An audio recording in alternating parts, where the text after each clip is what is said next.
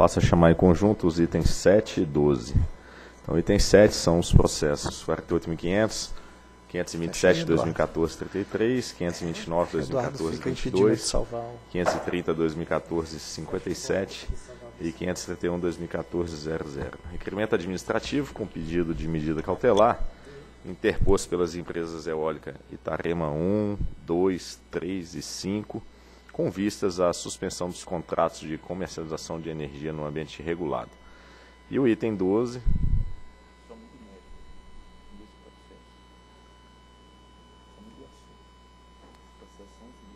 Sim, o item 12, que são os mesmos processos, e trata da alteração do cronograma de implantação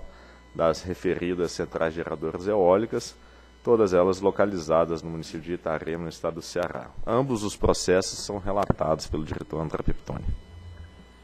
Por meio de portarias do Ministério de Minas e Energia, as sociedades de propósito específico Itarema 1, Itarema 2, Itarema 3 e Itarema 5 estabeleceram-se como produtores independentes de energia, mediante a implantação e exploração de centrais geradoras eólicas. São quatro geradoras, duas com 27 megas, uma com 15 e outra com 21 de potência instalada. E todas estão localizadas no município de Itarema, no estado do Ceará. A energia proveniente desses empreendimentos foi comercializada no leilão A-3 de 2013. As licenças ambientais para essas centrais eólicas foram emitidas pela Secretaria de Meio Ambiente do Ceará, a, no caso a LP, em 16 de agosto de 2012 e válido até 16 de agosto de 14. A LI também foi emitida, foi emitida em, em 17 e 18 de novembro de 2014, foi alterada em março de 2015, contemplando, entre outras condições, a apresentação do parecer conclusivo da Fundação Nacional do Índio, FUNAI, antes do início da implantação dos empreendimentos. Em 9 de julho, a ANEL, atendendo solicitação da Itarema Geração de Energia, controladora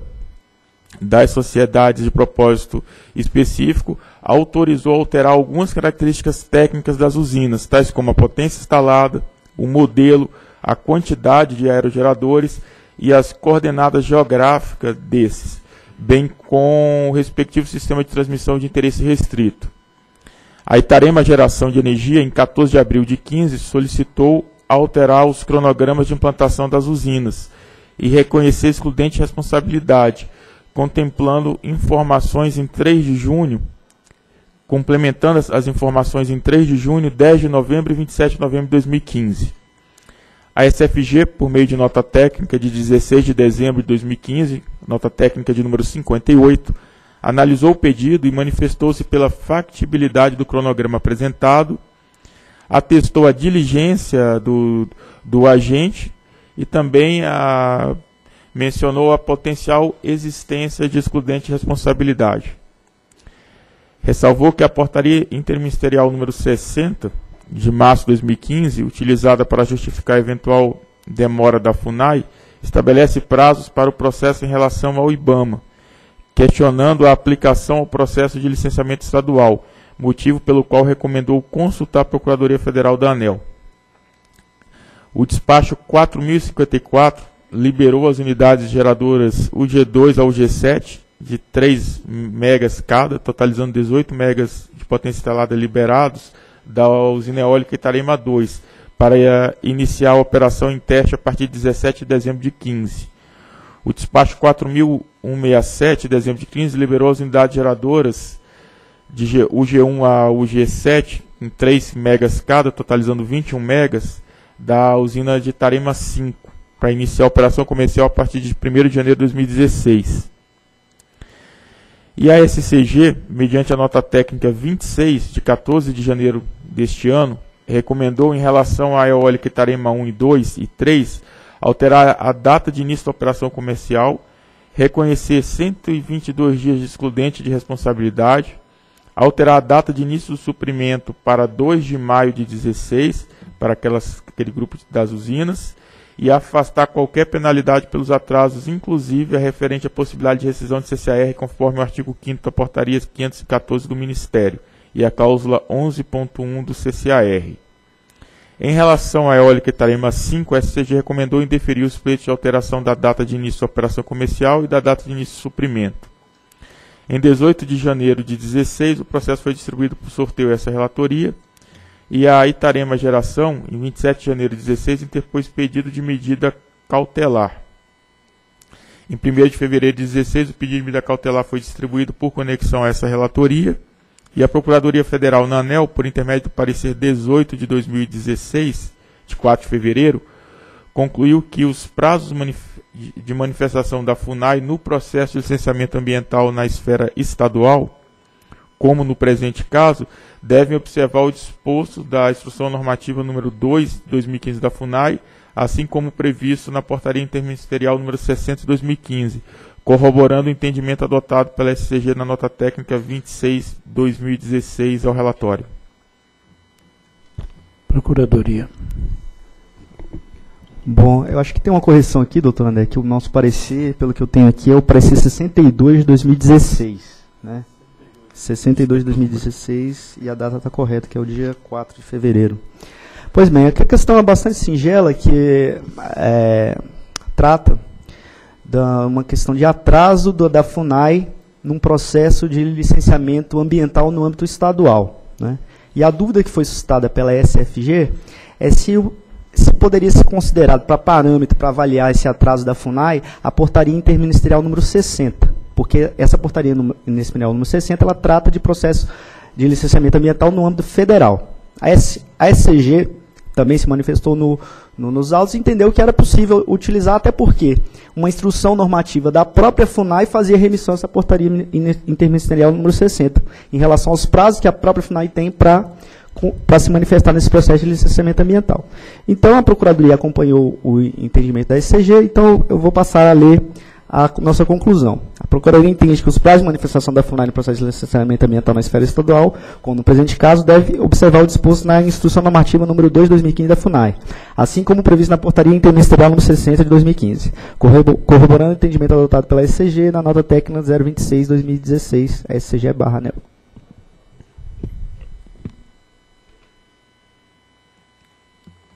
As autorizadas solicitaram alterar os cronogramas de plantação das eólicas Itarema 1, Itarema 2, 3 e 5, as quais comercializaram energia no A-3 de 2013, de modo a dilatar de 2 de, de modo a dilatar para 2 de maio de 2016 o prazo de entrada em operação comercial estabelecido no inciso 2 do artigo 3 das portarias 201, 199 e 200 198, todas de 2014 a garantia física, a quantidade de energia comercializada e o início de operação comercial e o suprimento das eólicas estão discriminados na tabela 1. Então está lá a, garantia física, a quantidade de lotes comercializados, a potência instalada, o início do suprimento e a operação comercial, que estava previsto para todos os quatro parques em 1 de janeiro de 2016. A Itarema fundamentou o pleito com base na interrupção da execução das obras, motivada por uma série de entraves ligados principalmente ao atraso nos procedimentos de licenciamento ambiental, em especial da FUNAI. Os valores passíveis de excludente, de acordo com a, avaliação da SFG e da SCG, totalizariam 538 dias para as eólicas Itarema 1, 2 e 5 e 672 dias para a eólica Itarema 3. Tudo isso devido ao atraso na manifestação da FUNAI. Desse período, a Itarema solicitou prazo inferior correspondente ao adicional nos cronogramas de 122 dias, ou seja, a, entre a data original, que é 1 de janeiro, dilatar para 1 de maio de 2016. Então foi solicitado esse prazo de reconhecimento excludente de responsabilidade pelo atraso nos cronogramas de plantação desses empreendimentos, fixando a data de início da operação comercial para todos eles em 2 de maio de 2015. Os principais marcos foram atualizados pela Itarema em 27 de novembro de 2015 e encontram-se resumidos na tabela 2.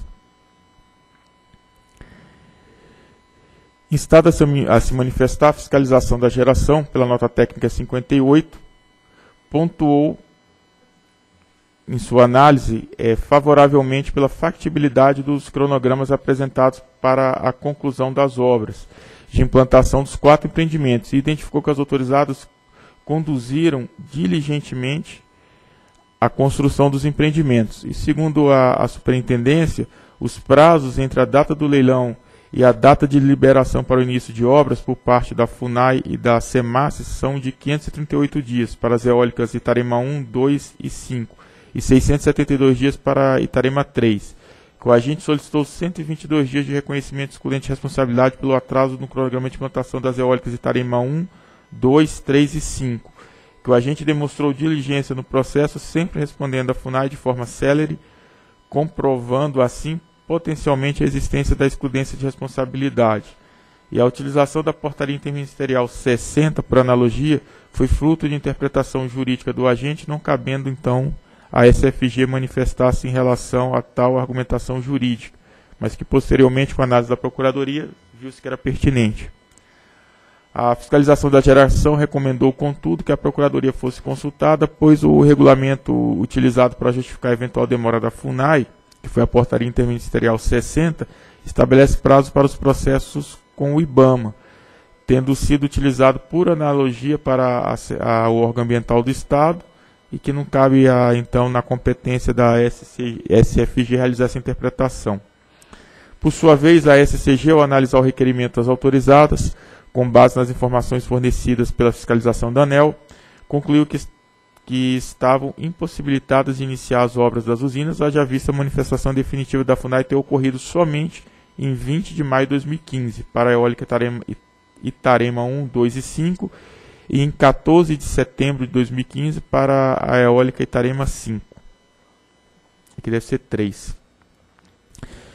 Quanto a, a, ao termo, ao tempo requerido pela FUNAI,